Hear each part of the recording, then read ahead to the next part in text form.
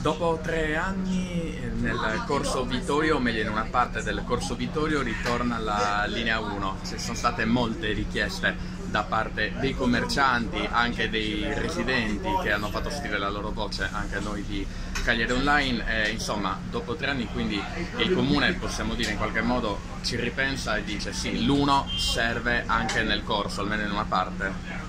Ah, io non credo che si possa dire che noi ci abbiamo ripensato.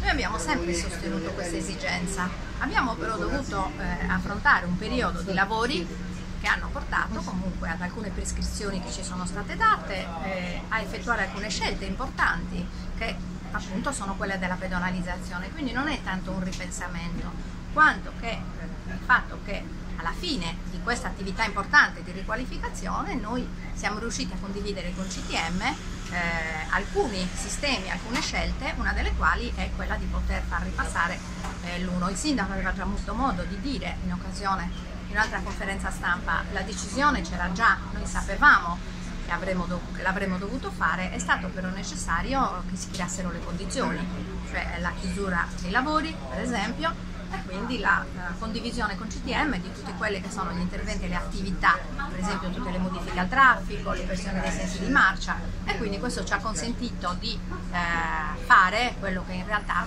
già sapevamo che avremmo dovuto fare.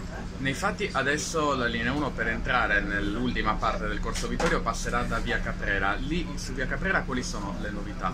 Beh, su via Caprera importante è stato e credo che ehm, sia importante anche questo solo come elemento, a prescindere dal percorso della 1, l'inversione del senso di marcia. Anche lì noi eh, avevamo numerose richieste da parte dei cittadini, quindi abbiamo fatto l'inversione del senso di marcia e questo ci ha consentito appunto di far risalire, lo vedremo adesso facendo il percorso nuovamente, eh, l'1 sulla via Caprera svoltando a sinistra eh, consentendo all'1 di riprendere il suo percorso storico suo percorso storico appunto per un tratto dove c'è la linea 1, c'è anche il resto del corso, il futuro è comunque assolutamente pedonale, per esempio ipotesi bus elettrico no. No, sui bus elettrici lo dicevo, stiamo ragionando, cercando di ragionare con CTM, abbiamo qualche difficoltà legata a norme un pochino contorte o eh, ancora senza decreti attuativi, però eh, CTM si sta spendendo molto insieme a noi per poter ragionare, perché poi il sistema vero quello delle navette, dei piccoli bus elettrici eh,